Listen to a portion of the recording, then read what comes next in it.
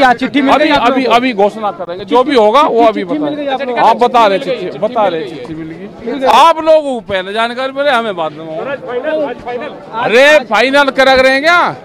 आज आज वापसी का ऐलान हो जाएगा। अरे रुक जा। अभी क्यों करो भाई? जी नहीं लगने का अभी रुक जा। अच्छा ठीक है सब अगर जाएँगे तो सब साथ ही जाएँगे ना ये तो तय जो भी लाभ हानि जो भी होगा सबको इकट्ठा होगा। जी।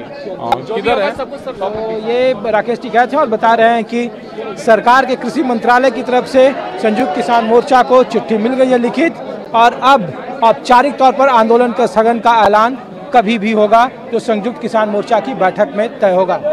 कैमरामैन सुनील के साथ ऋषिकेश कुमार न्यूज़ 24 सिंधु